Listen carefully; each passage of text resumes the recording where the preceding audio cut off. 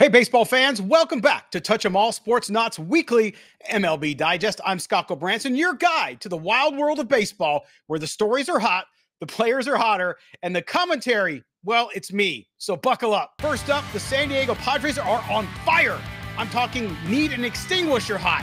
And leading the charge is none other than Jackson Merrill, our rookie sensation. This kid is making walk-off homers look as easy as hitting off a tee in Little League.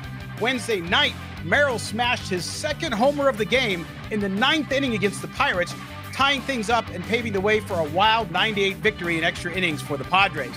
That's his third game tying or walk-off homer this season at just 21 years old. Move over Tony Horton and Giancarlo Stanton. Merrill's in the house.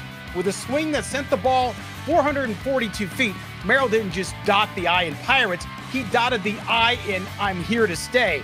Padres manager Mike Shildt said it best. He's got that it factor, and you better believe it. Meanwhile, up in Baltimore, the Orioles are proving they've got some serious swagger.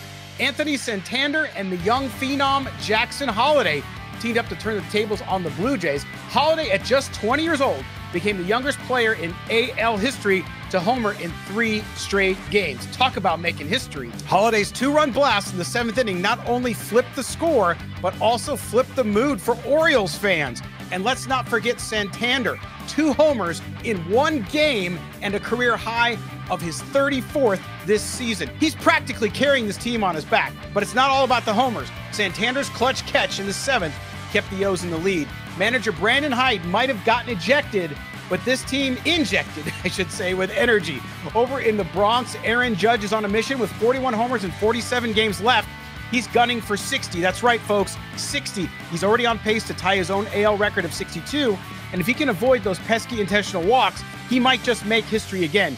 Even with the pitchers dodging him like he's got the plague, Judge is seeing more pitches in the zone thanks to some heavy hitters behind him. And with a lineup getting stronger by the day, who knows?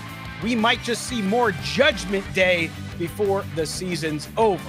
Lastly, this week, no surprise here, but it's adios to Pedro Grifol in Chicago. The White Sox have had a season to forget, and Grifol's tenure is officially over. With an 89 and 190 record over two seasons, it's no surprise they're looking for a fresh start. Here's hoping they find the right person to turn this ship around. The Sox faithful on the South Side deserve a team they can be proud of.